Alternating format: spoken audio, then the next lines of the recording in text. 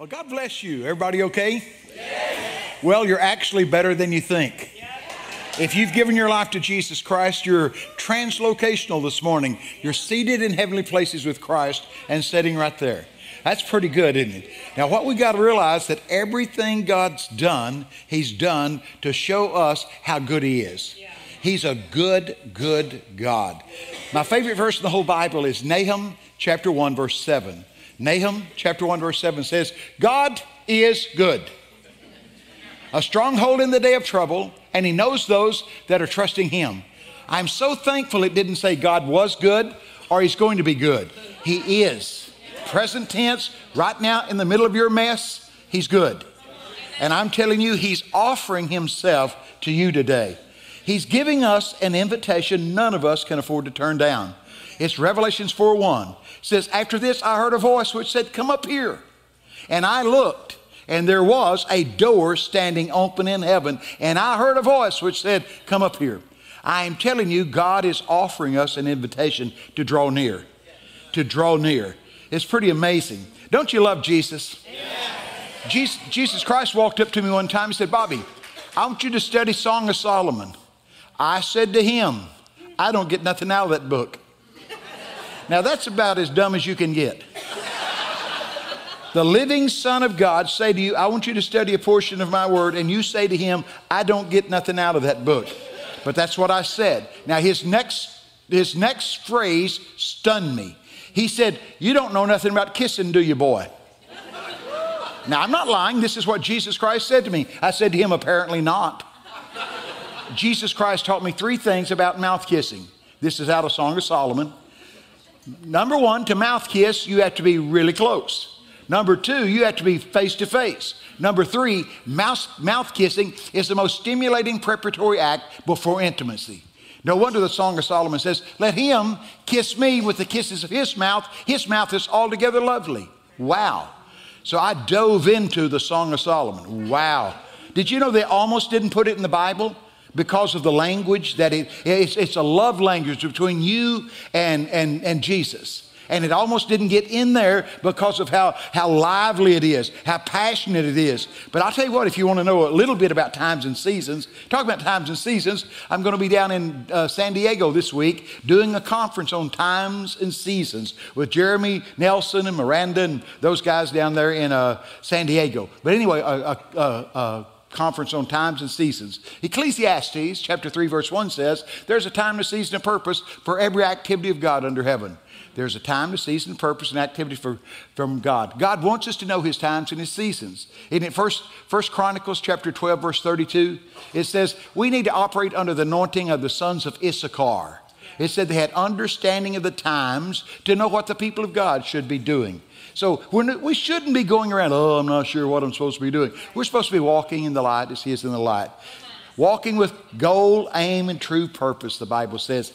But uh, I'm glad you're here. I'm glad God's here. I'm glad He wants to do uh, something to merge us together. So you ought to study Song of Solomon. Uh, here's what He's going to do for us He's going to drive us out from under the fig tree to the apple tree.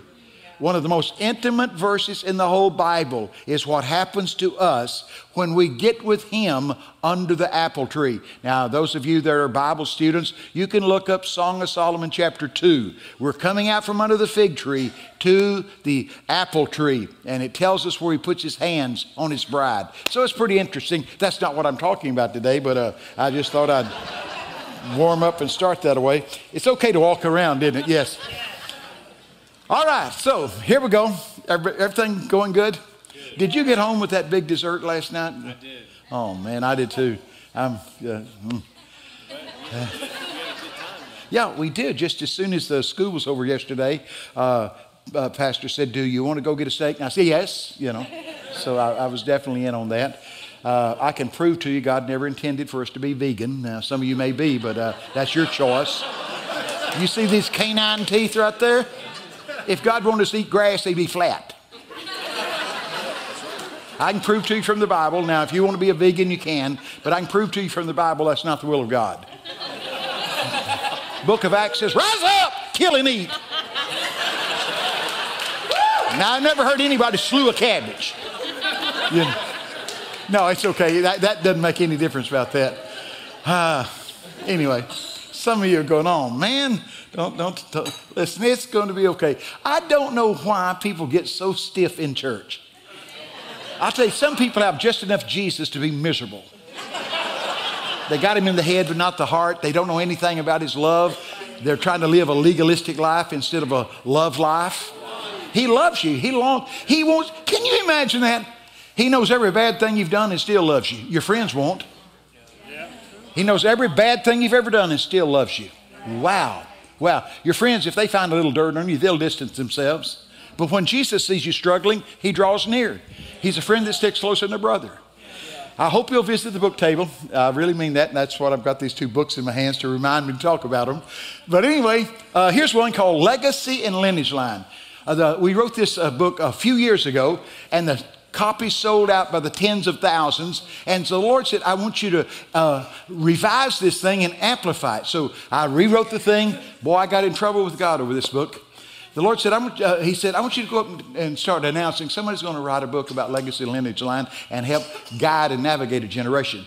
So I guess maybe four years I went up and down the land saying somebody's going to write a book about legacy lineage line and going to help navigate a, a generation. Nobody picked it up. Finally, my wife Carolyn said, Bobby, I believe God's talking to you about writing that book. So I said, God, you want me to write that book? And he said, Yes, I do. It came like a like a torrent. Whoom! The book came just like that. Boy, I was working on it. Da, da, da, then I got busy. I usually go a couple of places a week doing ministry. So I got really busy, man. So I'd pushed Legacy and Lineage Line to the back, and I'm driving to the airport one day, and Jesus Christ said, Hey, Bobby, how's your Legacy and Lineage Line book coming? Now, you, you, you, you can snow a lot of people, but not Jesus. So I said to him, Well, um, I've got really busy and I've kind of pushed it on the back burner. The Lord said to me in a tone filled with total authority, I intend for you to shut down some meetings, get in a solitude place, and finish Legacy and Lineage Line.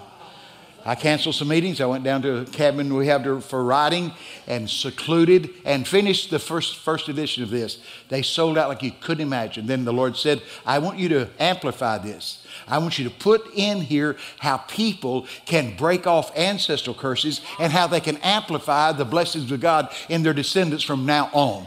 Here's what the Bible said Psalms, say Psalms, 112, verse 2. Here's what it says The offspring of the upright shall be mighty in the earth.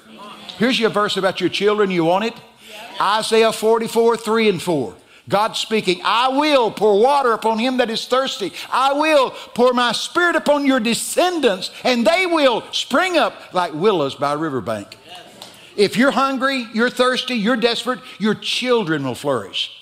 You need to get the book on. See, you understand you're forging the future your grandchildren will live in. That's, that's the privilege you have. You're forging the future your grandchildren will live in. It says this that if you're hungry and thirsty and desperate, your children flourish. That's a nice thing, isn't it? So, legacy and lineage line, you, well, you, I want you to get it.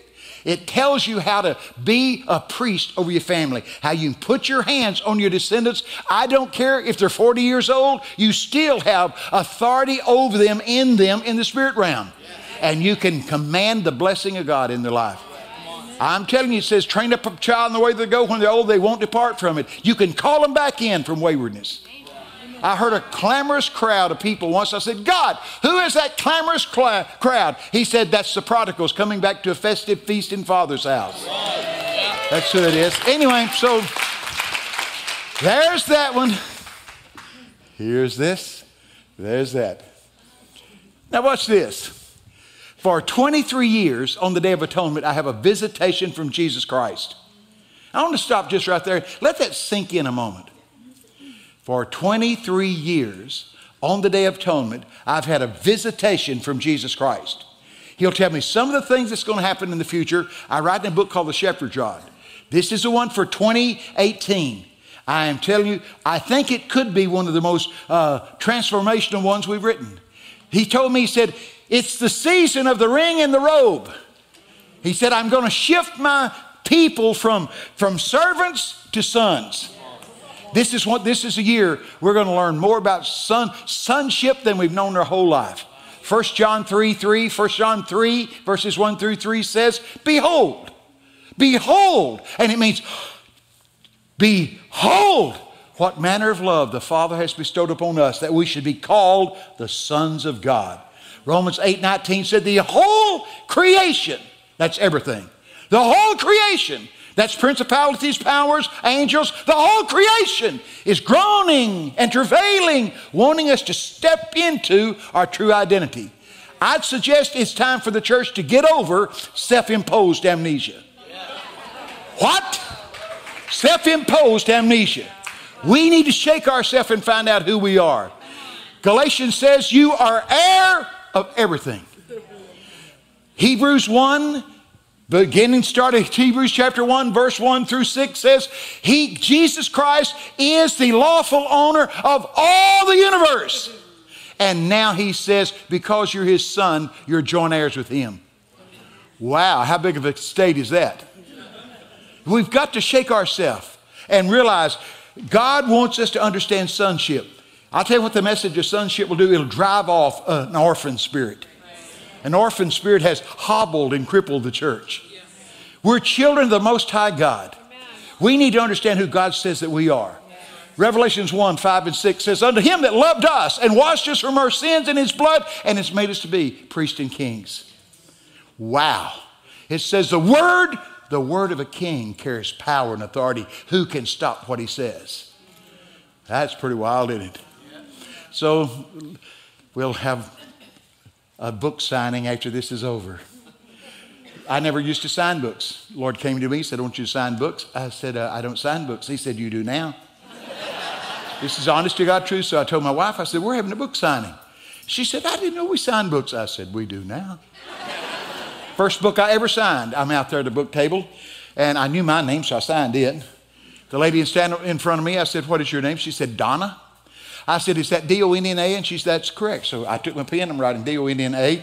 When the pen made the last stroke of the A, a Bible passage drifted across my spirit just like that. So I thought, I'll write it down. I'm writing the passage down. She's watching it. When I finish the passage, she falls on the floor.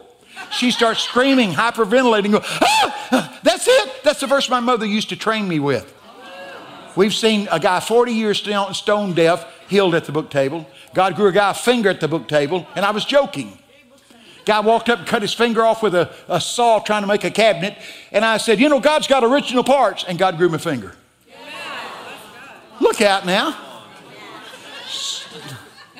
So, anyway, who'll read this book? This, this is, you, you will? Now, don't lie to me. I'm prophetic. I'll, I'll shake you up. It'll shake you up if you'll read it. Yeah. You know where your descendants came from?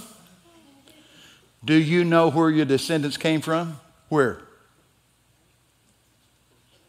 Levitical priesthood. Levitical priesthood. I'll tell you what, when I walked by you, the Lord said, Tell her to study her ancestral line. There's some trophies in your ancestral line, okay? So I'd suggest you study it. Don't you think? Yeah. Aren't you glad we've been translated out of one family into another? Yeah. Colossians what? Colossians 1 uh, says he, he takes us out of the family of darkness and puts us in the family of love and light. Aren't you glad of that? So here's what I want to talk about this morning. Y'all got plenty of time? My plane don't leave till in the morning.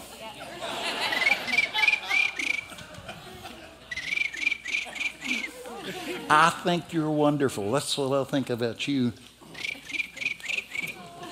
What you doing? You doing good? Oh, aren't they something? Man, I know guy, I know, I know guys in Texas can gut a deer and can't change a diaper. yeah, yeah. I tell you what happened. Uh, my oldest son is 54, and back then they had real diapers. They got them things look like a sandwich wrapper now. You know what I mean? Back then they were the real stuff. You had to pin them on. I mean, it was a blood sacrifice. Somebody's going to bleed, you know. Oh man you know, you had to do something with them. I dropped them in the toilet till my wife got home. That's what I do with them. Yeah, yeah. Well, you're wonderful. That's how the birds go. Do you know the Holy Spirit in that baby is the same size as the Holy Spirit in you? Yes. Yeah, only purer. That's really true. They, they can see God a lot quicker than you can.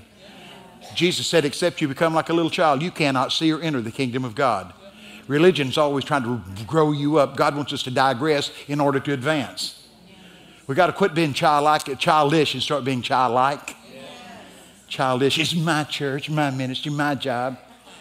Childlike is just believing God can do anything. So here's what I want to talk to you about today, okay? Yeah. All right. I'm getting back up here so I can use this book. I'm going to show you one of the most baffling verses I've found in a long time. You want to see it? Yes. Now, here's what I'm going to talk about this morning. You know, I'm a fashion icon. so here's what God, God told me, He said, I want you to announce that the body of Christ has suffered a wardrobe malfunction. That's what he told me, just straight out, just like I told you. Tell the body of Christ they've suffered a wardrobe malfunction. Now, you can Google it, not now, and find out what a wardrobe malfunction is. Too much flesh being exposed. Now, the body of Christ, that's you and me, have suffered a wardrobe malfunction. And so, too much flesh being exposed. So, now down there in Hollywood, when they have those uh, red carpets, you, have seen them. I, I, you, have seen them. There's some chick out there in a sli- shiny dress. Some guy will walk up with a microphone, he'll poke it under her nose, and the first question he asks is what? Who you wearing? Who are you wearing? You heard him? Who you wearing? Well, that's what the Holy Ghost is asking you today. He's got the microphone under your mouth going, Who you wearing? I'll tell you, all the best dressed Christians are going to be wearing Jesus. I'm going to show it to you in the Bible. I'm going to show it to you in the Bible. You want to see it? Say it. Yes, Bobby. Yes, Bobby. Now take your Bible, go with me to Judges chapter 6. Say where? Judges chapter 6. Now, if you've studied Judges, oh man, the last verse in the last book, chapter of the book of Judges, it says, And every man did that which was right in his own eyes, and Israel was far from God. Wow. So it's not a real stimulating book. But look, I'll start with verse 1 to kind of set the stage. You ready? Yes, here we go. Today I'll be reading from Judges chapter 6, verse 1 out of the Amplified Classic Version of the Bible. Here we go. But the Israelites did evil in the sight of the Lord, and the Lord gave them into the hands of Midian for seven years. Verse 2 And the hand of Midian prevailed against Israel because of the Midianites. The Israelites made themselves dens, uh, caves, which are in the mountains, and caves and strongholds. Verse 3 For whenever Israel had sown their seed, the Midianites and the Amalekites, let's stop and find out who in the world are those two guys. The word, word Midian, the Midian, the word Midian is a Hebrew word that means strife and contention. How do you like them running over you, ruling over you? That's who Israel was being overrun by, was people full of strife and contention, the Midianites. And then we find these Amalekites. The word Amalekite means raider and robbers. And Israel had done evil in the sight of the Lord, so the Lord turned them over to be ruled over by these kind of people. Look what's happened. Verse 3 For whenever Israel would sow, their seed, the Midianites, Amalekites, uh, and the people from the east would come barging in. Verse 4 says, They would encamp against them and destroy the crops as far as Gaza and leaving no nourishment for Israel, for their donkeys or their sheep or anything. Verse 5 for they came up with their cattle and with their tents, and they came like locusts, for multitudes, both they and their camels could not be counted. So they wasted the land as they entered into it. All right, verse 6. And Israel was greatly impoverished because of the Midianites, and Israel cried to the Lord. I told the people last night, uh, yesterday in the school, what the word cried, and they cried to the Lord. It means they screamed in agony and anguish. Uh, let me read it. And when, when Israel screamed in agony and anguish to the Lord, verse 8, the Lord sent a prophet to Israel who said to them, Thus saith the Lord God, the God of Israel, I brought you up from Egypt and out of the forth out of the house of bondage, and I delivered you out of the hand of the Egyptians and out of the hands of all those that oppressed you, and go, drove them out from before you and saved you from their land. And look what it says, verse 10, and I said to you, Do this, this, this, and they said, But you've not obeyed me. So they're in a terrible mess, aren't they? Now, I, I, want us to meet a character in the book of Judges. His name is Gideon. Say Gideon. Gideon, Gideon is a strange word. Uh, it's a word for a warrior. If you, if you look at the Hebrew word Gideon, it means feller, F E L L E R. Feller. And here's the, here's the scene you see an enemy charging towards you, you see a man with a big, broad sword, and he swings at the enemy like this, and the sword penetrates to the enemy. One piece falls here, and one piece falls here. Gideon, feller, one that cuts the enemy in half. Every time his dad would call him Gideon, it means victorious warrior that slices the enemy in half. But Gideon never understood who he was. Look, look, what, look what he says. Well, we'll just fast forward here. And verse um, uh, 10 says, And I, I say to you, the Lord God is with you. Verse 11, Now the angel of the Lord came and sat down under the tree in Ophrah, which belongs to Joash the Abiezrite, and his son Gideon was beating wheat in the winepress to hide from the Midianites. That's almost comical. Nobody in their right mind would sift wheat in a wine vat.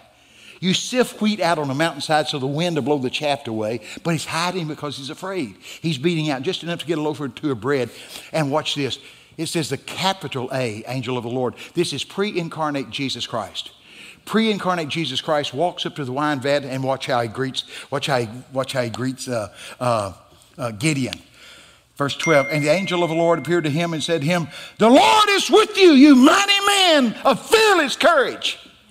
Scared the, scared the spit out of Gideon. There's Gideon down there, afraid he's going to be mugged. And Jesus said, How, you victorious warrior? Wouldn't you like to have a heart monitor on Gideon? but anyway, instead of Gideon go, Yes, bless God, that's who I am. I'm victorious, I'm unstoppable, I'm invincible. No, look what he started doing. He started whining. Look there. And verse 13 says, And Gideon said to him, Oh, sir, Oh, sir, if the Lord is with us, why is all of this befalling us? And where are all of his wonderful works in which our fathers told us, saying, Did not the Lord bring us up out of the land of Egypt? But now the Lord has forsaken us and given us into the hands of Midian.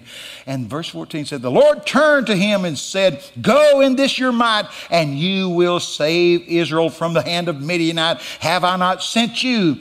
And look at verse 15. And Gideon said to him, Oh, Lord. Oh, Lord. How can I deliver Israel? Behold, my clan is the poorest in Manasseh, and I'm the least in my father's house. Wait a minute! Almighty God, creator of the universe, has said, You are an unstoppable warrior. And he goes, Sir, you're mistaken. I am from the tribe of Manasseh. Look up the Hebrew word Manasseh. It means that one that causes you to forget and relent. Manasseh. That one that causes you to have poor perception of who you really are. I'm from Manasseh. And besides that, Manasseh is the smallest tribe in all of Israel. And besides that, my family is the poorest family in the tribe of Manasseh. And besides that, I'm the wussiest one in my family. That's what he says. We got an identity crisis, don't you think? Now I'm going to show you what changes that. You ready? Now I'm going to that mysterious verse. Fast forward over there, Judges 6 34. All right. Remember the question is, who you wearing? Judges 6 34. But the Spirit of God clothed Gideon with himself and took possession of him. And he, Gideon, blew a trumpet, and the clan of uh, Abers was gathered unto him. But look, look at that verse, it's unbelievable. But God clothed Gideon with God. Question is, who you wearing? But God clothed Gideon with God and took possession of him. Question is, who you wearing? The body of Christ has suffered a wardrobe malfunction. They can't see God. They see too much flesh, the world around us. So, wouldn't it be great if we could just say, Oh God, here we go. I want you to clothe me with you. It ain't going to happen. That's not the regime right now. God, I'm screaming in. I don't like preachers that mumble and apologize for nearly saying something. You need to say what you believe and believe what you say or sit down. Don't you think? I'm so sick of these super seeker friendly guys that don't want to, I don't want to rock the boat. Hey, let's turn it over and see who wants back in. We ought to turn the boat over and see who wants. So here's the question If God's not going to clothe us with God, how are we going to get our right apparel?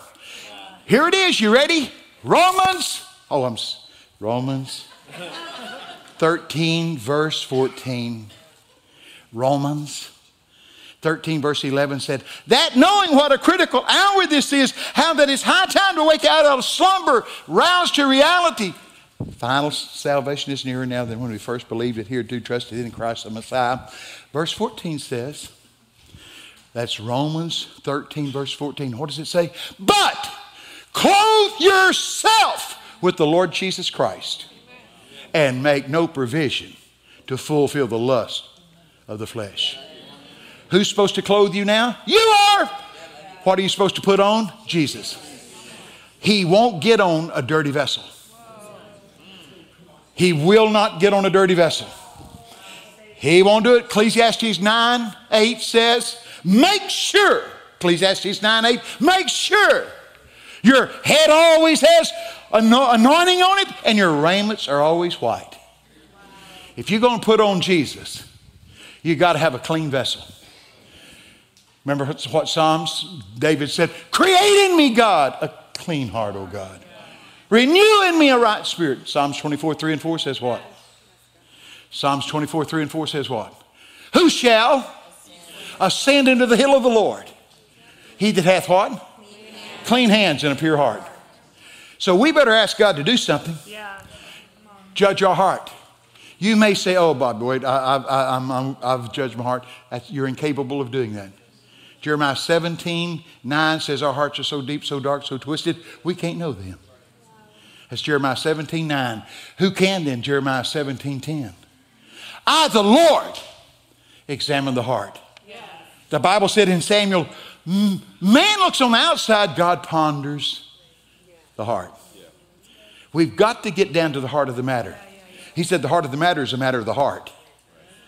We got to deal with heart issues because if, if there's contamination in our heart, we can't put on Jesus. So we got to do that. Psalms 139, verse 23. What does that say, brother? Search me, O God, and know me. See if there be any wicked way in me and lead me in a way of eternal everlasting. Don't you want him to lead you? Wouldn't it be awful to spend this whole life and then stand before God and say, I'm sorry, I never knew you? Wow. Wow. You know, it says one said, Lord, Lord, we prophesied in your name. In your name we've done many wonderful things. He said, I'm sorry, didn't make the cut. Depart from me, worker of iniquity. I never knew you. So, how are we going to get cleaned up? I'm telling you, one of the missing messages in the church today is holiness. But I'm telling you, the Bible says this without holiness, no person's going to see the Lord. Is that what it says? That's what it says. Yeah. Yes, you want another verse about putting on Christ? Colossians 3:12. Yeah. Put on Christ. Yeah. Dress up with him. Yeah. And it's the same word for rolling on a tunic. Dress up in Jesus. Who you wearing?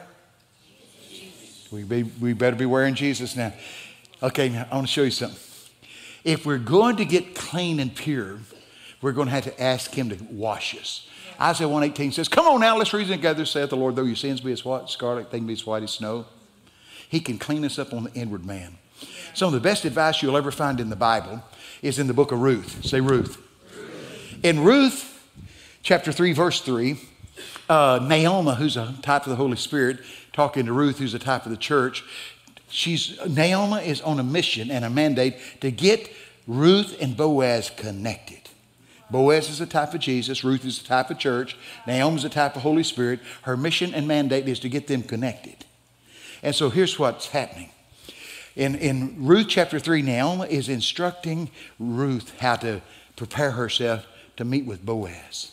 And here's what she says She says, Here's what I want you to do I want you to wash yourself Ruth 3 3. Wash yourself, anoint yourself, put on your raiment, and get down to the threshing floor. Wow. See, a lot of us want the throne room when we need the threshing floor. You can't go to the throne room till you first visit the threshing floor. What happens at the threshing floor? That's where all the husk is winnowed away and the heart of the matter is, is exposed. Meet me tonight at the threshing floor. So, one thing I love in Ruth 3 3, it says that Naomi's instructing Ruth, wash yourself, anoint, say purity. I'm serious. There's people in this room need to wash yourself. You've sat before filthy television. You don't have to look for pornography now, it's a predatory, it's looking for you. One wrong look can take your whole destiny away. Remember when we better understand something. The devil wants you to crumble, and he'll do everything he can to get that accelerated. You say, well, give me an example of that. Uh, here's one. There's the man in the Bible, uh, he wrote the biggest number of Psalms, and he, the, he had a testimony in the, Old, in the New Testament was a man after God's own heart. Who was that? David. David. Here's what happened. It says, when it came time for kings to go to battle, David tarried still in Jerusalem. When it came time for kings to go to battle, David goes, mm, don't think I'm going. See, if you're not where you're supposed to be, they won't be any grace to be where you are. If you're not where you're supposed to be, there won't be any grace to be where you are. And it, it shows up the same way it showed up in David's life. Kings go out to battle, David stayed still in Jerusalem. And what happens? Discontentment, dissatisfaction. He's restless, gets up off the bed, remember that? And decided he'd take a journey, a little walk on top of the palace. We're talking about there, if you've got that dissatisfaction, the devil will set up a delightful distraction. This is King David. This is a man after God's own heart. And he's walking upon the balcony. He hears somebody giggling. He looks over the roof, and there in the hot tub is Bathsheba. Wow. It says he looked. Now, he could have went, ooh, but he went, ooh. In our, in our language, he just, he, he went back to the room and searched Facebook to see if he could find where that gal's from. That's where a lot of people fall right straight down into a trap. Yeah, you better watch out. The devil wants you to crumble. So, what happened to man after God's own heart? It, that word look is the strongest word in the human language for lust he looked upon her with a craving and he sent his servants to go get her. Text that girl and see what she's doing tonight. He took her, had intercourse with her, got her pregnant, and what happened? Then he began to try to cover up his mess. He said, I'll get her, I'll get Uriah in. I'll get him drunk, he'll go home and he'll think this baby's his. But see, there is still some faithful people in the house of God. Uriah would not go have sex with his wife while his men were bleeding out on the battlefield, so he slept on the porch. God always has a way of exposing our sins. Whosoever covers his sin shall not prosper. We're talking about getting clean enough yeah. to put on Jesus. Yeah. No wonder Psalmist David, after the prophet confronted him, Thou art the man, then he's broken. Psalms 51. I dare you study Psalms 51. Every other psalm in the Bible is called poetic, poetic. It flows, but not Psalms 51. The theologians tell us what it's called. It's called ejaculatory. Have you, ever, have you ever tried to converse with somebody that's overrun with emotion? Maybe their trauma and tragedies happened in their family. Maybe somebody's been tragically killed and they're, they're still trying try to. That's the whole way Psalms 51 is written. If we would understand the tragedy and the trauma of a fallen life, he starts with Psalms 51, verse 1. Have mercy upon me, O God, according to your loving kindness and your tender mercies. Blot out my transgressions and wash me thoroughly from my iniquities. We're talking about how we're going to put on Jesus. We're going to have to start from the inside out. Create in me, Psalms 51, 10. Create in me a clean heart, O God. Renew in me a right spirit. How many of you need to cry that out today? Those of you watch on media, how many of you realize you've looked at the wrong thing? Your heart is turned towards the wrong thing. You never intended it.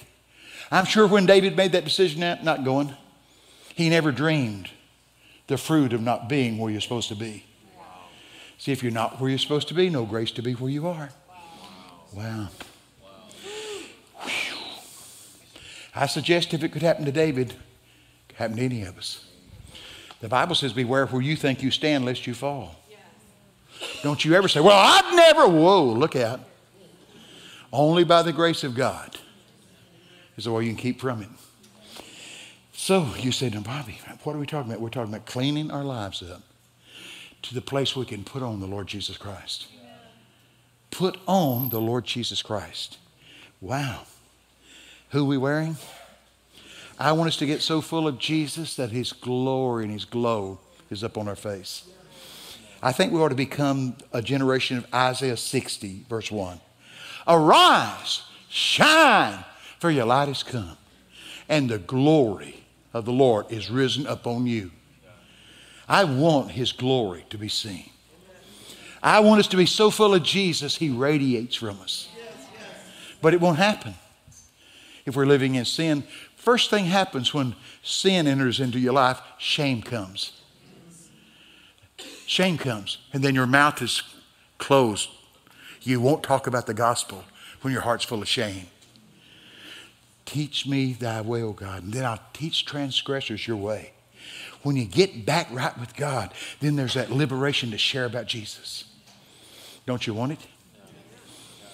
You say, oh, Bobby, I, uh, you know, I've never been very good at witnessing. Well, shame on you. Acts 1 8 says, But you shall receive power after Holy Ghost comes upon you, and you will be a witness. That's not if you feel like it. That's commands. He don't give you the power without a purpose. You go, well, you know, I'm just going to kind of. No, let's get aggressive in soul winning. I guarantee you the de- devil is getting aggressive in pollution. So the church is going to have to ratchet it up. We're going to have to shake off. We're going to have to rouse to reality. I tell you what we got to do. We got to become more militant. Yeah, I don't want any. Uh, mm, mm, mm. You better get out of church then. Can't you see there's a confrontation coming? The fruit of good and evil have come to full fruition. Remember what it says? As the days of Noah were, so shall also the coming of the Son of Man be. How were the days of Noah? Oh, demons came and had intercourse with women and gave birth. Yeah. They're here. Yeah. Listen to me now. Those hybrid beings are loose on earth right now while I'm talking to you. I've seen them. As the days of Noah were, Matthew says, Matthew, Jesus said in Matthew 24, so shall also the coming of the Son of Man be. So you study Genesis 6. The demons saw the children of men and took them. They gave birth. God told me to call them hybrids. He said, Nephilim, no hybrids. They're here because we're in the end of the age. If you intend to get right with God, you better do it now. I'm, I'm serious. Today is the day of salvation. Today, if you hear his voice, don't calcimate your heart. This is the final time. I'm serious about it. I can show you verse after verse after verse that catalogs the times and season we're living in to prove it's the last days. Number one, first, first sign of the last days, according to Jesus, is Matthew 24 many false Christ shall arise and deceive many. I suggest we're there, don't you? There's this crazy confusion about what true Christianity is. Many false Christ shall arise and deceive many. Then it says there'll be wars and rumors of wars. Then it says there'll be some ethnic tension. Nations shall rise up against nations and kingdoms against kingdoms. All of that's, that's current right now, isn't it? What are we going to do? We're going to come clean before God. We're going to make sure our robes are white. We're going to see. Have you read the last book in the Bible? It says the white throne judgment. White in the Bible is always a type of purity. Let your garments always be white. How do we get? Remember, the Bible says God's coming after bride without spot or wrinkle or what? Any such thing. How do you get spots and wrinkles out of clothes? Now, I'm not an expert on it myself. Scrubbing! How do you get wrinkles out? Heat and pressure. I suggest God's doing that for the church. Cleansing with scrubbing and heat and pressure. You ever felt it? He's, he's ironing out the wrinkles. Whew. I read the Bible, it says our God is a what? Consuming fire. Consuming fire. Now, now let, let me just help you with some of this. This super seeker friendly stuff says to you, oh, you don't have to fear God. Everything's taken care of. Are you an idiot? I'm more afraid of God than I am the devil. It's a fearful thing to fall in the hands of a living God. Well, brother, I, nope. I tell you what, guys, I don't have a coin in my pocket, but if you've got one, it's got a head and a tail, hasn't it? Yeah. See, if you just got one with all heads, you got a counterfeit. Yes, God's a good God. Yes, God's a wonderful Abba Father, but there's also another side of God. We are way too familiar with the God we barely aware of. But He's going to reintroduce Himself to us. We got to get to know Him. I'm telling you, here's what He told me to tell you.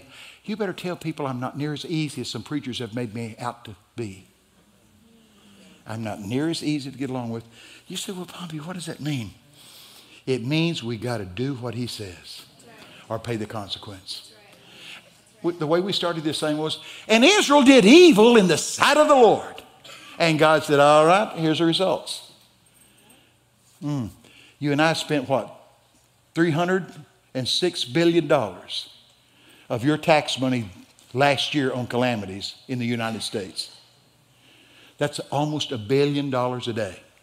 Is that right?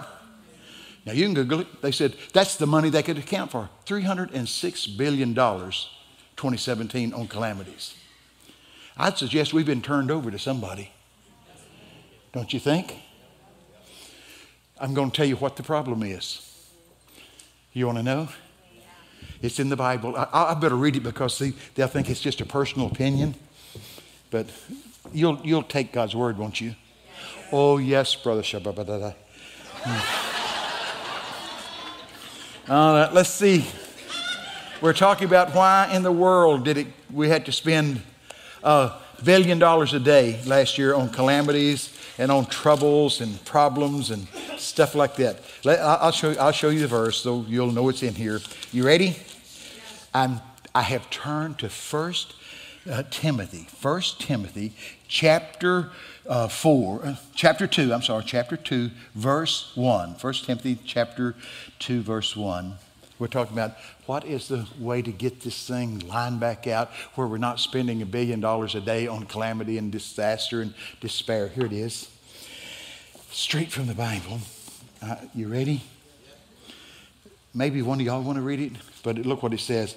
First of all, then, say top priority this is Paul instructing Timothy to tell the church. First, oh, well, let me read it first. First of all, then, I admonish and urge that petitions, prayers, and intercession and thanksgiving be offered on behalf of all men.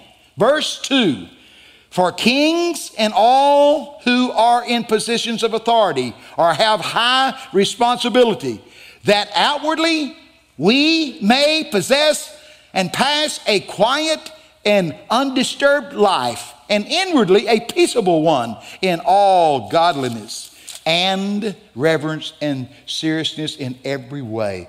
For such praying is good, verse 3 says, and right, and is pleasing and acceptable to God our Father. Wow. First of all, if you're going to lead a quiet, peaceable life, if you don't want to spend a billion dollars a day in calamity, What's the first thing you need to do? Pray for your president. That's your problem right now. The devil knows a house divided can't stand. Our nation is ripped down the middle, and one of the chainsaws doing it is the media. But we're so, we're so thick headed, we'll believe any garbage. You better believe this right here. If you want to live a quiet, peaceable life, Pray for those in authority. I don't care whether you're Democrat, Republican, or some other thing. God cares less about that. What He wants you to do is be obedient. You need to pray for your president. You say, I don't agree. I don't care what you You better agree with this. Or you just keep forking out a billion dollars a day. I'm telling you, pray for those that are in authority, especially those that have high responsibility. You can't get much higher responsibility than President of the United States in our nation.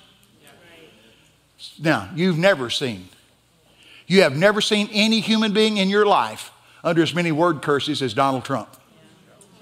You hadn't. I am personally on a campaign to try to see that the modern day media gets tried for treason. I believe the modern day media should be tried for treason. What? I looked up Webster's de- definition of treason an attempted throw, overthrow of a sitting government. If the media is not guilty of that, would you please tell me what they are guilty of? Okay. Now you say, well, listen, I don't think we ought to mix uh, Christianity and politics. That's the problem. We're supposed to be, we Christians are supposed to be running this theater. He's not going to hold the politicians and, and the media, he's going to hold us accountable. Here's your verse if you want it. You want a verse about that? Psalms 115, verse 16. Psalms 115, verse 16 said, The heavens of heavens, that belongs to your God, but this earth is your responsibility. What happens on this planet belongs to the Christians. God's not schizophrenic at all. He started his original intent with Genesis 1:26, let us make man in our own image and let's give them kingdom authority. He's not digressed in that one bit. He's looking for some people that'll walk with him in such communion they take over this planet. She says, Don't wait. Isn't that something? I think we ought to shake ourselves and say, God, I've been Derek, Derek, Derek, what? derelict. Derelict, easy for me to say. I, I saw every word but derelict. We've been derelict in our duty of taking care of this earth. The heavens of heavens, that belongs to God, but this earth he's put into our hands. Remember he said in Genesis 1:26, let's make man give them authority. Wow. Well, okay. But we can't do it if we're not dressed in Jesus. Who you wearing? Hmm. I want to be dressed in Jesus, don't you? I want people to look at me and see Jesus. Yes. That's the only time you've got real authority. I love how that works. Can I take, give you a story? Yes! I was down in LA. Y'all know where LA is. I was down there doing a conference and they put me in a big hotel down there. But it just so happened it was the hotel where they put the same uh, Extreme Olympics. I mean, these guys that jump off motorcycles, they flip around backwards and give you a five. Those guys. Extreme Olympics. They had them in the same hotel. So I got my little briefcase. Here I am. I'm in the elevator, and I'm up against the wall like this with my little, with my little briefcase going up. I think the 11th floor or something like that. So I got my face looking down at the, the floor. And just as the elevator door is closing, it opens up, and oh Lord, my space is invaded. You, have you heard of the monster girls that sell the monster drinks? The monster drinks? They got a band of girls that are spokesmen for them. They jumped on the elevator. Woo! Good Lord. There's 14 or more of them. They jump in there. Listen, guys, they'd been off at one of their shoots. They, they didn't, listen, they didn't have a garb on to wad a shotgun. Nearest thing to be a naked you've ever seen. These gals jumped on the elevator. I thought, oh, God. There I am with my briefcase like this. They're all over there. And one of them, you know, they're, they're young people, just just and so and one of them said, "Watch this, hey babe, are you here to party? Don't I look like a party animal?" she said, "Hey babe, you here to party?" I got my little briefcase. I said, "Oh no, I'm here to tell people about Jesus." When I said the word Jesus inside that elevator, a girl about the third row in, and the monster girls had a meltdown. Ah! Ah! Ah! This is not who I am. I'm not supposed to be living this way. I'm a Christian. And then she says, I think there's a whole bunch more just like me. I said, Go get them, bring them down there at the fountain, I'll come preach to them. Woo! You talk about a variegated group. We get them down there. You couldn't have drug him in a church. We got them down there at the fountain, and I took off preaching about Jesus. and talking about He's the way, the truth, and the life, talking about Him giving life and more life abundant. I got hallelujahs and F bombs at the same message. Listen, wildest bunch you've ever seen, but I'll tell you, some of them fell on their face giving their life to Jesus. See, what we got to do is put on Jesus. Yeah. I tell you, if you're wearing Him, you can get by just about anything. You know what I mean? Yeah. This is 100 years ago now. What I told you just a, a little bit ago. This is about 100 years now. Y'all remember MC Hammer? Can't touch this. You remember that? yeah. He, this is in his heyday. I was going to a, a Benny Hinn conference thing. So I got my, I'm back in the elevator with my little bitty briefcase going to a Benny Hinn conference. I think we might have been in Detroit. And so just as the door started closing, MC Hammer hops in. He was hot as a rock then, boy. I mean, listen, all over the earth. That guy that was with him had that wavy hair sticking straight up. Anyway, so him and Hammer get in the, the, the elevator. Now, I'm not praying in tongues. I'm not shut up. I'm just standing there. MC Hammer's right here. And here's what Hammer does. He goes, What is this? Then he said, Why, it's the Holy Ghost, ain't it? I said, Yes, it is. He said, That's real, ain't it? I said, It's the realest thing in the whole earth. He said, Come down to my bus and tell my people. So I go with Hammer down to the, the parking area of that uh, thing, the Civic Center, and there's his bus. Woo! I got on that bus. I never smelled so much cologne in my life. Everybody had a gold chain about this big around, a walking stick, gold walking stick, and we got to preach the gospel in there in Hammer's bus. He's preaching the gospel now. I'm telling you, they can realize if you're dressed in Jesus. You understand what I'm talking about? All right. That was funny. Don't you want enough God that people can feel it? Yeah. Now, I, listen, I, I'll give you a couple more stories. Plainly's in the morning. Hey, I'm going down to San Diego this week. Look it up on the web, you'll find it. They started a meeting back there. We did, I think it might have been three years ago in January, and it's still going every night with Jeremy Nelson and uh, Miranda, uh, Elijah Revolution. It's, it's really wild. People come from all over the world now to get there to see what's going on. So you ought to make it. It's not, I don't know. But anyway, so there's stories. Don't you like stories? Yeah. I, I want us to really put on Jesus, Amen. dress up in Him, where people see past us to Him and go, wow, that's what I want. That's what I want. Uh, one of my kin folks before, when we were uh, lost, uh, she was into drug dealing. So I got converted saved by the grace of God. And so I'm, I'm talking to my cousin. She was a beautiful woman, a deep, dark heart. So I'm talking to my cousin about receiving Jesus. My cousin, she mocked me. She said, You, you know, wimp, you wimped out, you got that crutch of Christianity. Yeah, yeah. Just turned me down. I thought, Oh, Lord. I wish that would I wish her heart would have been smitten but it wasn't. She mocked me. Yeah, yeah, you know, tough, tough gal. Oh, but then she went to Walmart to do a drug deal, and the drug the drug deal went bad, and the guy took a 357 Magnum, shot her right here through the head, and the bullet came out right here, and then shot her again through this side, and came out here and shot her one other place, and she lived through it. 357 Magnum with mushroom shells. Any one of them should have killed her. Next time I saw her, she had, a, she had her jaw wired together. You know what she said? Tell me about this Jesus. I mean, you know, getting shot through the head, that's a pretty good wake up call.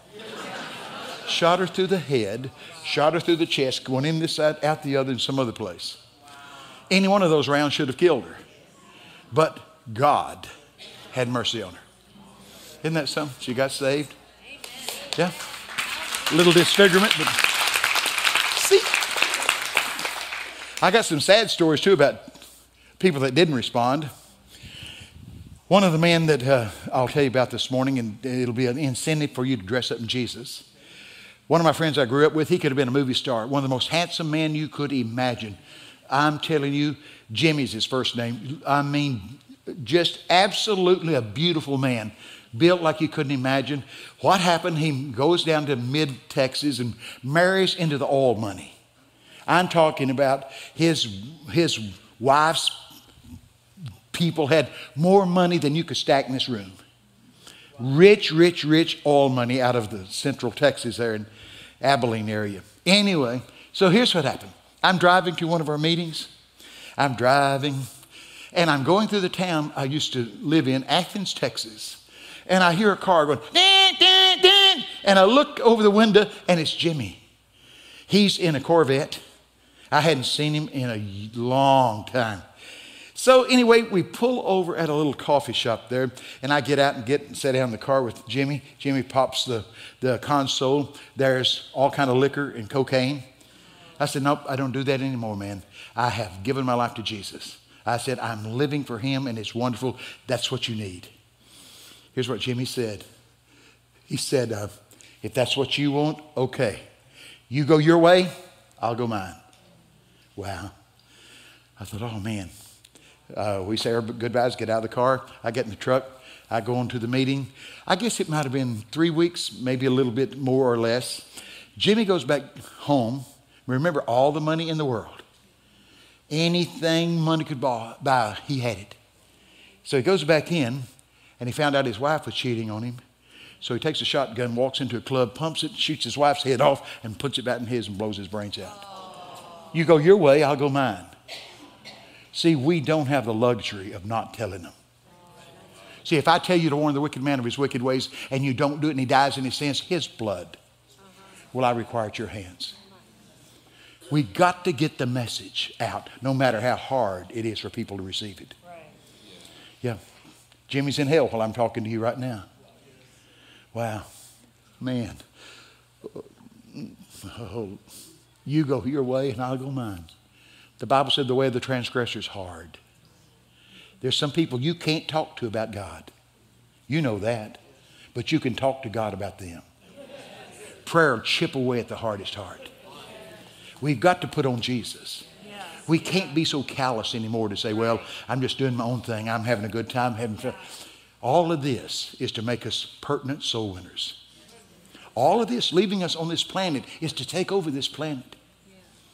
That's what this thing's about. Oh, well, you say, whenever I be a, I, I, I, you know, I don't have that kind of gift. Yeah, you do. The giver is inside of you. The Holy Ghost of God will pour out of your lips the words you need to share with lost people if you'll be willing. If you're willing, He'll make you able. We're talking about who you're wearing. Look at Simon Peter.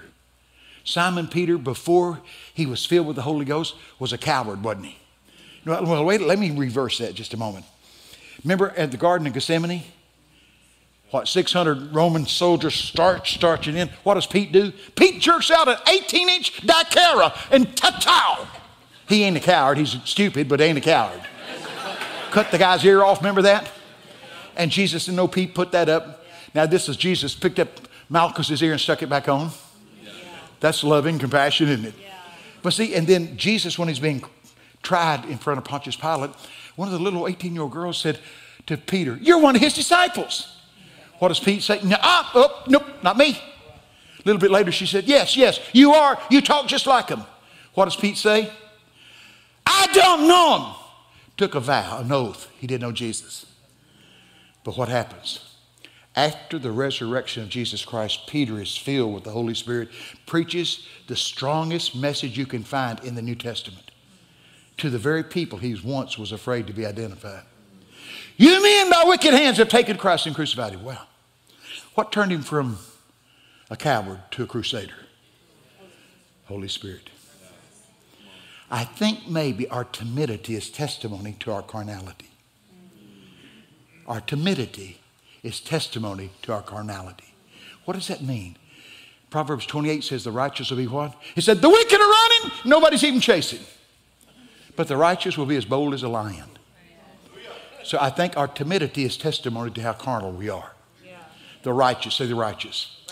Those in right standing with God who have put on Jesus, the righteous, will be as bold as a lion. The wicked's running, nobody's even chasing them. Okay. You say, now, Bobby, you really think we've had a wardrobe? I'm sure of it. But don't you want to wash yourself, anoint yourself, and put on the Lord Jesus? If there's any need in the church right now, it's recalibration. Revelations 2 said to the church in Ephesus, we got to return back to our first love. That's the need of the hour. If you'll return back, you'll find everything you need in Him. Aren't you glad? Well, good. Glad you're here. It's a beautiful baby. Thank God it took after Mama. no, that's, that's not very nice, but it's funny. And it's about, it's really true too, you know. Now, God, what do you do? Uh, fish butcher. What? I uh, cut fish for a living. Cut fish? There was a young man here was in the meat market. This is Eureka. I found it. what kind of fish do you cut? Uh, salmon. Salmon? Oh, man. halibut. Oh, halibut. I like it. It's white. Oh, man. You didn't bring any samples. They don't travel very well. Oh, man. That's right. But that's wonderful. God bless you. I really mean that. I'll, I'll give you that book if I got one up here. It's a be good. Let me get my water down. I've been multitasking. I put my throat lozenge in my water. You know, it kind of cuts out the middleman. You know what I mean?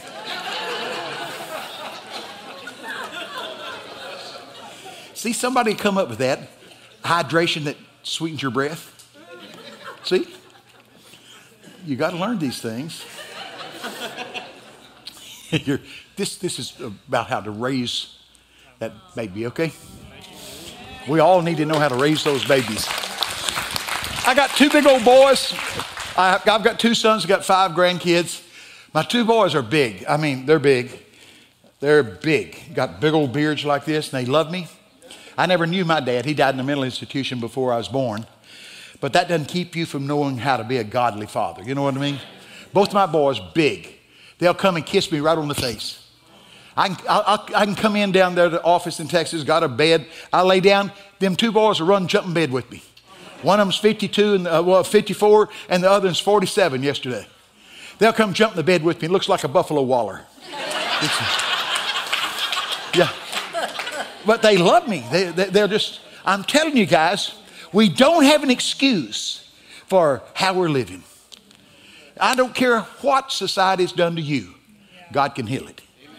He can, t- and by your stripes, you know, by his stripes we're healed. The scars is where you can uh, get authority for healing. The very place you were wounded gives you authority to heal in that arena.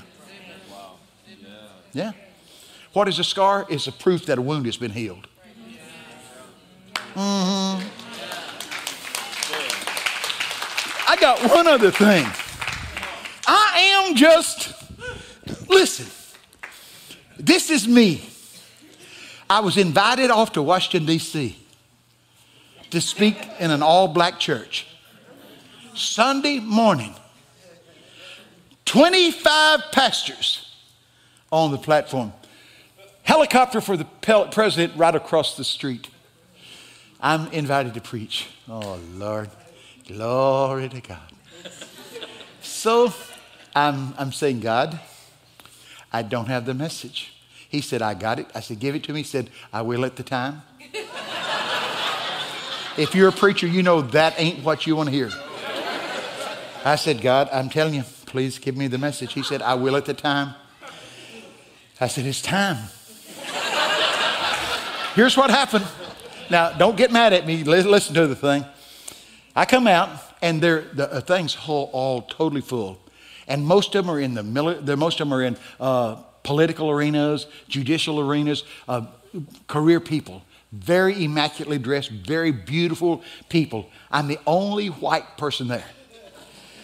So I get to the podium, open my Bible, and the Lord said, Here's the message. I said, Oh, okay.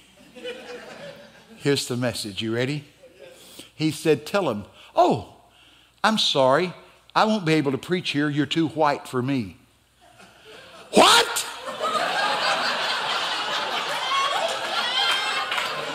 I'm the only white guy there. When I said that, have you ever heard 25 pastors gasp? It's quite audible. like, oh, Lord, what have we done? I said, oh, God, this, this, Lord, these guys stiffen like poles out there. I said, God, that can't, that, he said, nope, say it again. I said, I'm so sorry. I won't be able to preach here today. You're too white for me. These guys are up like this now. They're wondering, like, what in the world is this guy going to do? All the way over there in a catacomb, all the way over there. I don't know, a long way over there. I heard it. I heard it. Thank God. I hear somebody going, Glory to God! I sees it. That's what she said. Glory to God! I sees it. Here she comes. She's about 80 pounds. The biggest thing about her is a black hat. And she's dancing through that. Glory to God, I sees it. Glory to God, I sees it.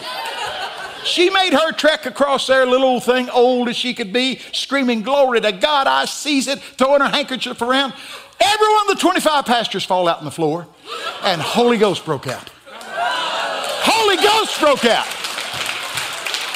Wow. What does that mean? It means God's tired of you trying to be somebody you're not. Be who you are. You understand that? Well, no. She saw it.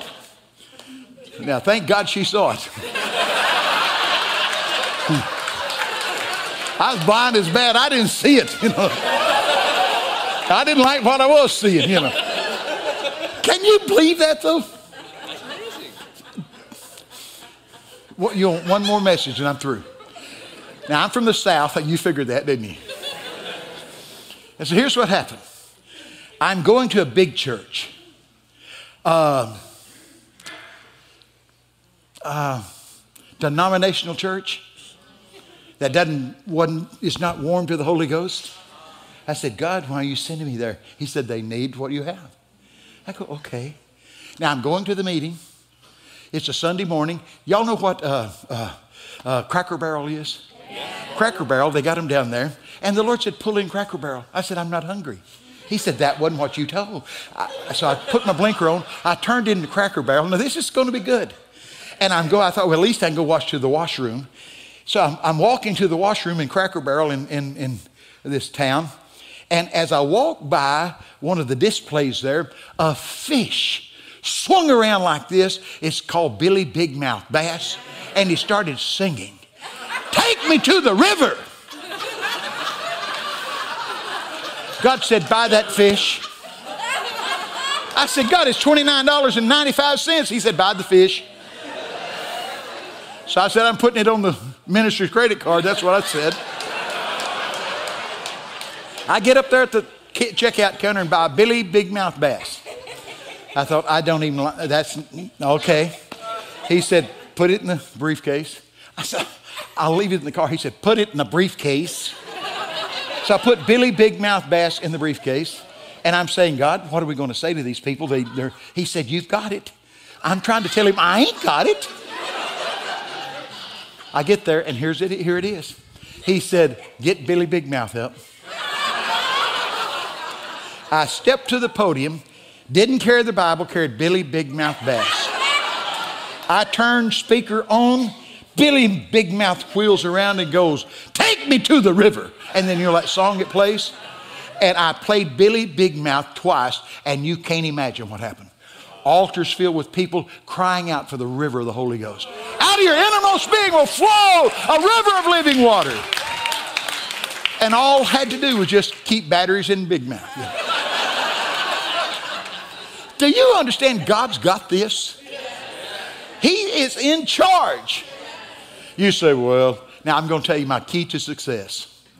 I'll tell you why I get invitations this thick every day. Because I'll do what He asks me to do. I may stumble and bumble at it, but I'm going to give it a shot. He, here's, here's my advice to you swift and complete obedience. Do as quickly as you can, as thoroughly as you can, anything He asks you to do. He said half hearted obedience is nothing but cloak rebellion. So he, will listen, whatever he says to do, do it.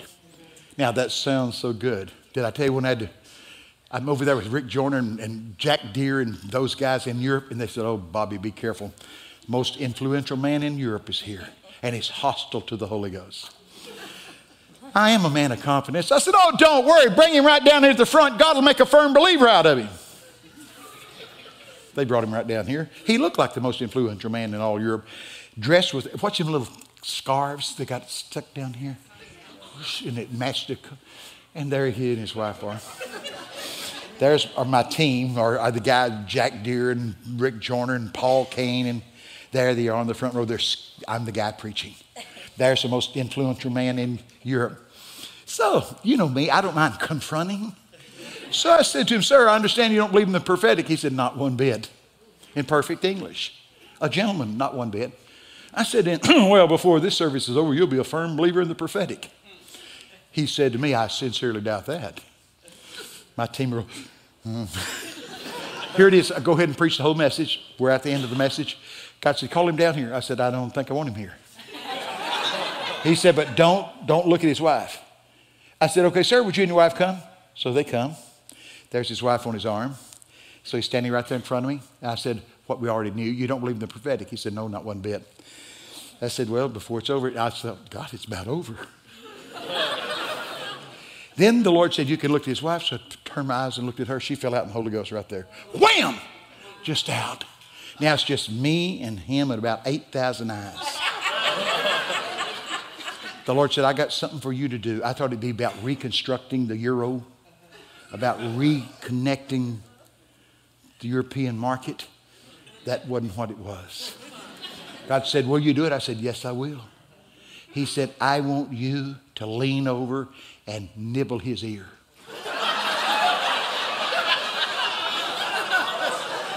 My mouth got so dry, my tongue stuck up in the roof of my mouth.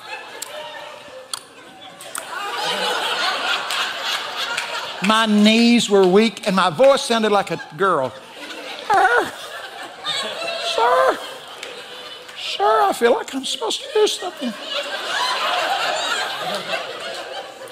These boys are in trouble now. So, he said to me, Do whatever you feel like God's told you to do. So I rotate his shoulder to get a shot at his ear.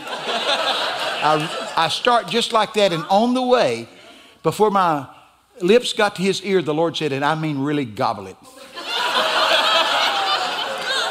That's what he said. So I take the guy's ear in my mouth, and out of my mouth came these words, just flowing like a, a geyser. This guy falls in the floor. He's screaming, Yes, yes, I believe anything you've got to say. I said, Get up.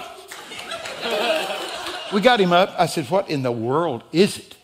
He said, Oh, what you don't know, I think he said two months ago, my wife went to a charismatic meeting, was impacted by the Holy Ghost, he says. Says, for two months or however long it was since the meeting, every night She'd come, I'd go to bed, she'd come, make herself ready for bed, sit on the edge of the bed, roll over twice, take my ear in her mouth, and woo me with the same words you just used. He said, I'll believe anything you've got to say. Woo! Now, you can't go to the seminary and get a degree on that. Yeah. Can you imagine? Listen, I've said, God, please don't ever do this again. You know, you're supposed to have integrity and you're supposed to, there, there's supposed to be a certain ambiance about you, you know. But nibbling on, yep. But that's the truth. Yeah. Uh, yeah, and I'll tell you what he said you can do anything in this region you want to do. See? The very thing they thought would drive him away, drug him in. Yeah. See?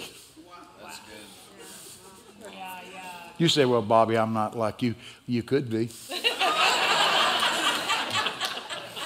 you could be. You say, does Jesus really come to see you? Knocked on the door and stepped in the room. Nearly killed me. Yeah. When I say I have an encounter with Jesus, I mean it. More real than Wendy right here. Yeah. Yeah. You want those kind of experiences?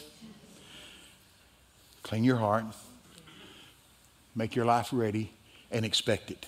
Amen. If it happens to one, it should happen to everyone. Because God is no respecter of persons. Amen. That's how I used to get all my encounters. I'd find them in the Bible, and I'd get God in the hammerlock. all right, you're no respecter person. If you spoke to Moses face to face as a friend communicates. So I had God in the hammerlock. and then he said to me, Are you willing to do what he did to get what he got? Remember when God came down on the mountain, cleared his throat? Two million Jews took off running that away. Ah! Don't ever let him speak to us like that again. You go get the word. And Moses goes up on a mountain trembling and vibrating with the presence of God. Are you willing to do what he did to get what he got? If you are, you'll get what he got. Because he's no respecter of persons. Already. Good. What do you do, this guy right here? What do you do? Pipe fitter? Yeah, I worked at uh, NIPAC one time and I worked in maintenance. That's what we did. But, you know, it was crazy. They, you know, you're supposed to know what you're doing. supposed to read off of these blueprints. You know, mine look no anyway. I wasn't very good at pipe fitting, but it, it's an art. You know, they, anyway. That's where I was at when I surrendered, preached NIPAC Incorporated. They was teaching me computers. They sent me to Dallas to computer school, and the computer was as big as that stage right there. Floppy disk was about like this, about the size of a cardboard box. Yeah. Anyway, so yeah, oh Lord. Well, let's see what God will do. Okay, He'll heal everyone in this room if you'll trust Him. You believe that? It says the Bible, He healed them all. He healed them all. There is no disease he can't heal. Genesis 18, 14 says, Is anything too hard for God? Luke 137 says, With men it is impossible, but with God, nothing is impossible. One thing he's going to heal is fragmented families. I roll out across you if you wanted Joel 225. Joel 225, God said, I will restore. What will he restore? Everything the cankerworm consumed. Listen, somebody's going to get back their fortune. That's what he said. God loves to restore. Greatest evidence of restoration in the Bible is when Mephibosheth got back everything that was his granddaddy's. The economist says there's no way to even calculate what kind of wealth transfer that was. Wow, it happened in one day. Joel 325, 225, I will restore. Don't you want him to restore? What's up? Dad said, Well, I can't sleep with you yelling. How are you? You doing good? Yeah. Yeah, I think you're wonderful. I bought my little granddaughter a tutu. She was just a baby. She's eight years old now. Oh, Lord. She called me. She said, Papa, preach. I've given up ballet. It hurts my toes. She said, but don't worry. I've taken up guitar. That's guitar. That's what she says. Uh, well, anyway, let's, let's pray for you, okay? Now, I promise you, you don't need me to touch you. You need Him to touch you. God is busy now cutting out the middleman. There is no mediator between God and man except that man, Christ Jesus. And He's able to heal you right where you're at. I really mean that. So I'm going to pray that you'll be healed and you'll give God glory for it. And you'll give testimony to the fact this was wrong, but now it's okay. Don't you want that? I'm telling you, God can do it. Father, I want to thank you for the fact that you can do anything, that nothing's too difficult for you, nothing's too hard for you, and you're willing to do it. You're willing to save to the uttermost all that come to you through Christ. Lord, you paid for our sins and our sicknesses. And so, Lord, right now we call in that, that, that payment right now for every sick person in this room. We pray that this would be the day this would be the moment that they're born again, they're saved, they're healed, they're delivered. I pray right now there'll not be one single person walk out of these doors without Christ. I pray that every sick person will be well. I hold you to your word. By your stripes we are healed. And I call in that healing right now. I ask you, Holy Spirit, to touch their body. It says in the Word of God, she felt in her body she was healed from the plague. Lord, I want a touch from heaven so the people feel, they experience a healing touch. So bless this place. I pray that the word of God will get out in this region. I pray Mark 2 1. It was noised abroad that he was in the house. There was not room enough to receive him. No, not so much as about the door. So, Lord, let the word get out that you're in the house and draw the people to get the needs met. in Jesus' name. Say, I receive, what I need, from Jesus Christ. He, is completely perfect. He's the healer. He's the deliverer. He is the Savior. He's King of glory. Oh boy, we're going to get a new appreciation of Jesus. A lot of people see him as Bethlehem's baby, which he was, but he's not now. A lot of people see him as a suffering lamb upon a tree, which he was, but he's not now. Next time your eyes behold him, you'll see him with the eyes as a flame of fire, hair as white as wool, feet like fine brass. You'll see him as a risen king. That's who he is right now. And he's able to tip his scepter towards you. He wants you to be like Esther when Esther approached her husband and he says, Anything you need is yours. Wow. If I had a word just to describe God, it would have to be extravagant. Everything he does, he does bigger and better than we expected. Extravagant. Well, this is a good season for you guys. I'm serious. This is a good season for you. It's a transitional season for you and the church. You are going to go out and bring in. You'll go out with the message and you'll bring in with new concepts and different things. The church will flourish more as you go out than, than, than you can imagine. It's like a bee going out, bringing back in different nectar, and it, it sweetens a whole hive. Don't you like honey? Why, sure, Bobby.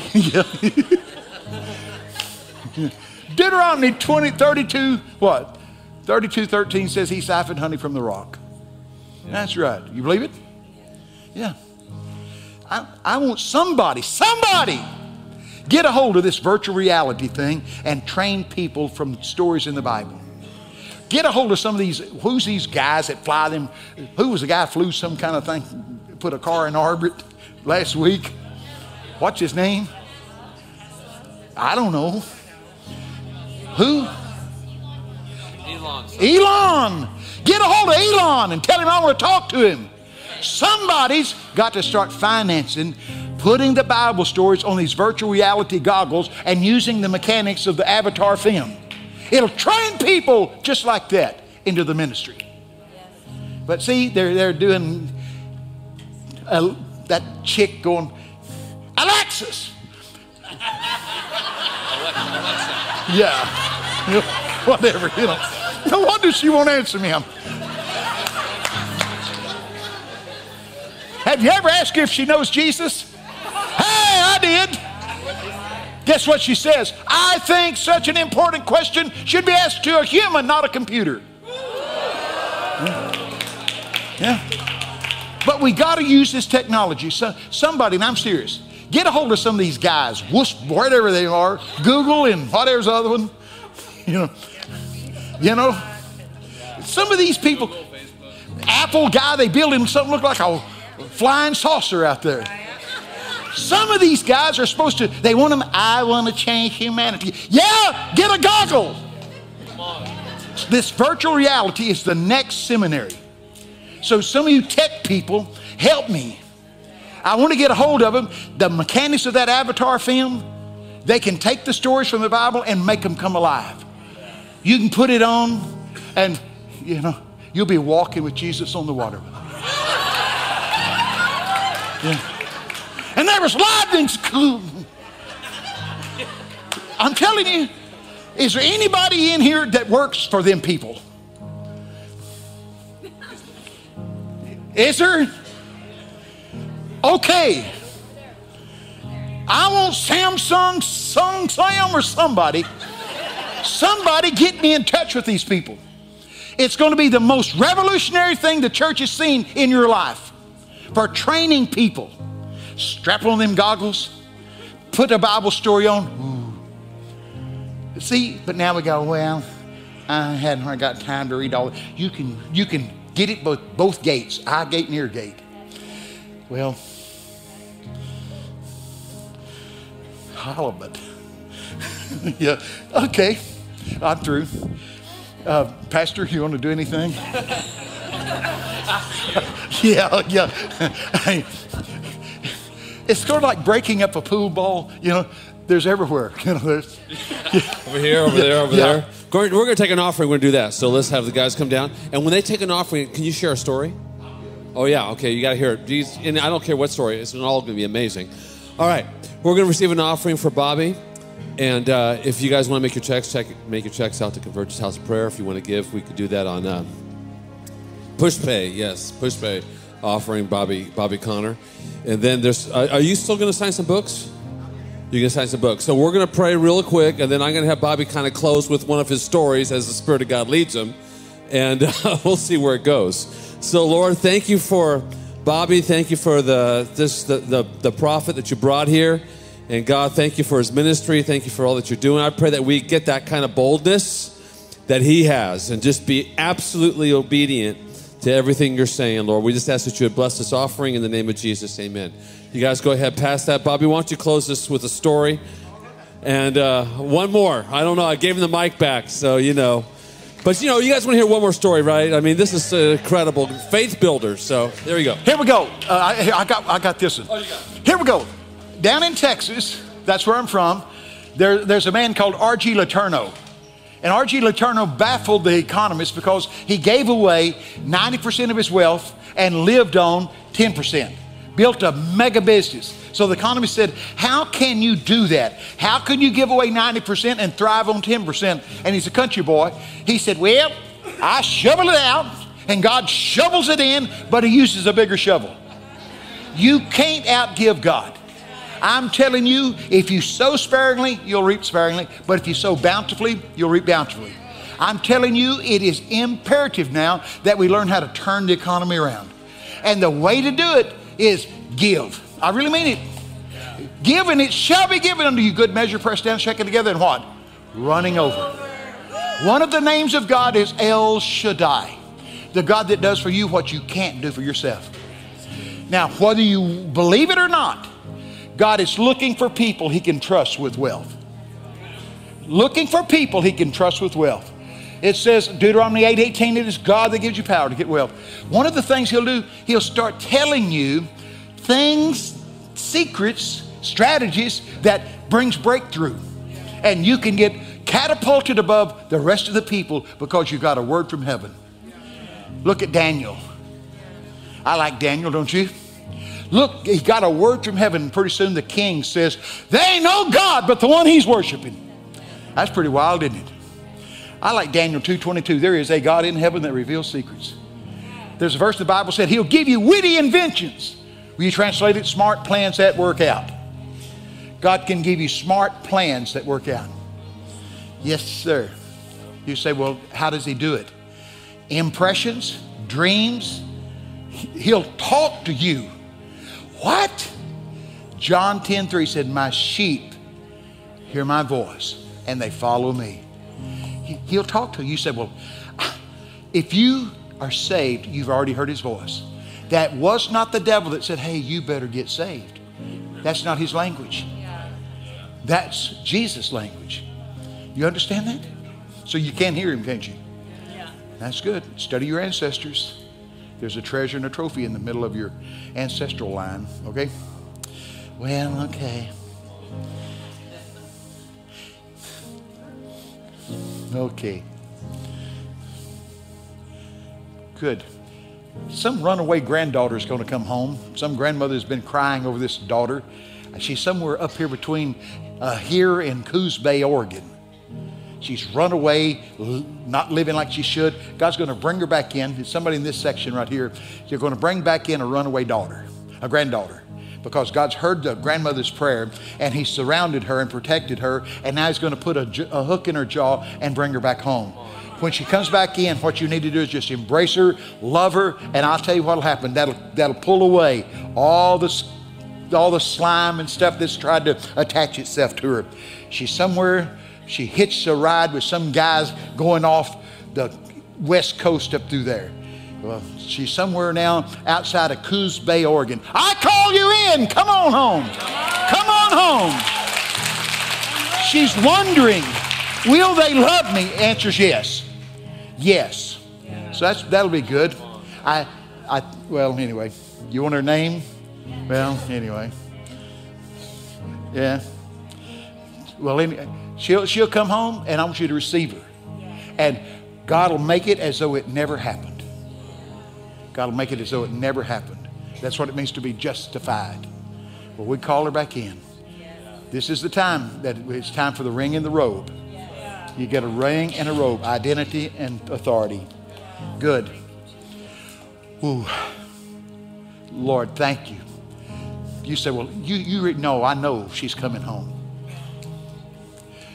I, I expect you to get a call within two or three days asking, Can I come home? You uh, know, isn't that something? I think one of the names when she was a little girl, she called grandmama Sweet Mama. Sweet Mama. Isn't that something? They, that my grandkids call me Papa Preach. They call the other grandpa Papa Momo. He, he rode him on the lawnmower, you know. So, listen, God bless you. God bless this church. I'll see you at the book table. I want you to do something. I want you to fall, fall wildly in love with Jesus. If you've got any people down there at San Diego, we'll be there uh, Thursday and Friday down at the, the uh, Times and Seasons Conference. And we'll be somewhere, at, well, we'll be at Morning Star the next week for their uh, conference. But then we'll be in Hong Kong, Philippines. Oh, Lord. Uh, it's wonderful. Share the word. Yeah, uh, uh, God told me, he said, He told me, said, I'm opening the heavens and I'm going to rain down my glory on the Philippines. I th- and I hadn't been to the Philippines in years. Before you could turn around, we got an invitation, and he's been here. You've been there, hadn't you? And so I got an invitation to be there in whatever March. Uh, so now I'm on the way to the Philippines. That'll be fun. Awesome. Yeah. Uh, yeah but see, God does that. Okay, I'm, I'm, I'm at the book table. Here, uh, thank you.